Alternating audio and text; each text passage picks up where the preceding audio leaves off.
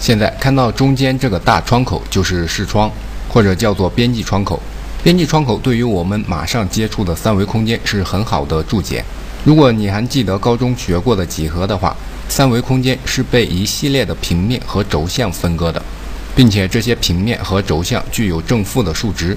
我们看一下这些在编辑窗口中是怎么体现的。编辑窗口的中心就是世界中心，这个世界被轴向和平面所分割，不同的轴向有不同的颜色，红色代表 x 轴，绿色代表 y 轴。我移动一下视图，因为现在你看不到 y 轴的顶部，因为它在视窗之外。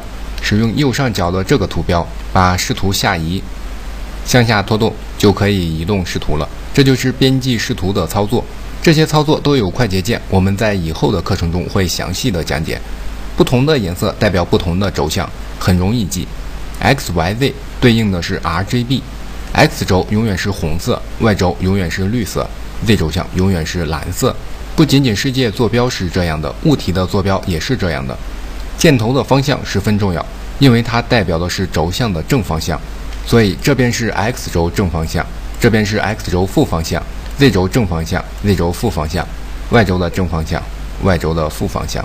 现在的视窗显示的是透视视图，不过有时候仅仅通过透视图不能满足我们的工作，所以那些程序员用他们无穷的智慧。给我们提供了其他的平面图，想要进入其他的平面图，只需要点击这个图标，这就会从单一的视图变为四视图，不仅仅显示透视图，还有其他的视图。默认是这三个视角的视图，不过可以进行设置。默认的是顶视图、右视图，还有正视图。这些视图展示给我们的是平面，不同的平面由不同的两个轴向定义。顶视图是由 x 和 z 轴向定义的，x、z 平面。正视图也称前视图，是由 x 和 y 轴定义的 x、y 平面；右视图也称侧视图，是由 z 和 y 轴定义的 z 和 y 平面。我们可以使用右上角这些工具操作视图。如果我想对右视图进行操作，点击这个按钮就能移动视图，可以上下左右移动视图。拖动这个图标可以进行远近的操作，可以放大或者缩小，左右拖动才行。如果上下拖动没有效果。